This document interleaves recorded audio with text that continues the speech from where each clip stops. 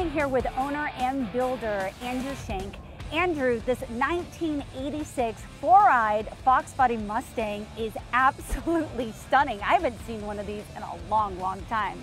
Tell us about your build. Yeah, thank you so much. Yeah, it's a uh, it's been a long time project. There's so much to talk about. I mean, what do you want to start Let's with first? start with the engine. Yeah, for sure. Let's the engine. talk about it. Yeah. So the engine, uh, this is a 427 inch uh, small block Ford Mm-hmm. uh, based engine, uh, Man O'War block, uh, Right. all aftermarket parts. Mm-hmm. My favorite part is incorporating the the factory 1985 uh, air cleaner assembly, which a lot of a lot of Mustang enthusiasts will will appreciate. I appreciate the aesthetic of how you're tying in your pearl uh. Yes. Yeah, that everything goes all is- along inside. Sorry, is that a female thing? um, as well, but it's nice. I mean, that midnight blue that just sparkled right on in there Yeah, just we- adds an extra pop. All right, let's talk about your wheels over here. And I'm Yeah. noticing that everything's low. This is a full air ride suspension on this car. Mm-hmm. Um, it's basically dropped as low as I could possibly get the car uh, to drop.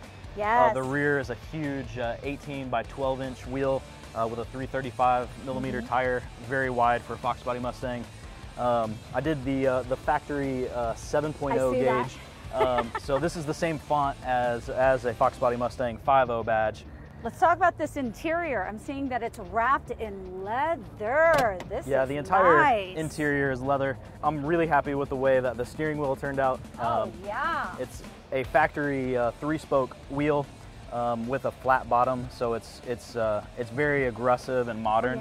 Oh, um, and then, uh, of course, the Ron Francis kit I hid um, in the inside. So in the inside is right here in Yep. the driver kick panel. Um, Oh, that's and that's nice. close to where the factory uh, ECU was located. Mm-hmm. So I wanted to keep it close by.